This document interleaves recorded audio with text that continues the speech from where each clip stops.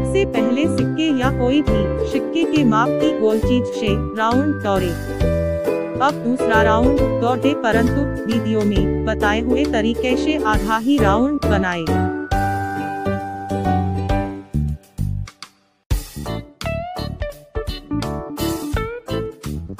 अब इस तरह से भगवान श्री कृष्ण का मुख और हाथ पैर को दौड़े।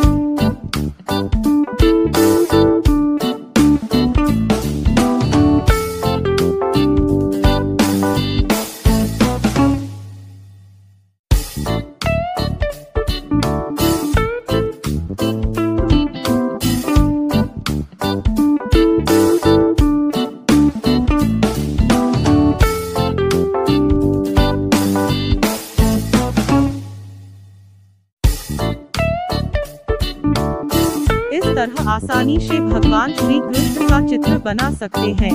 इसी वृक्ष, प्राणी, पक्षी, इंसान के कोई भी पात्र और कार्टून के पात्रों का चित्र सीखने के लिए जाए और वीडियो देखें।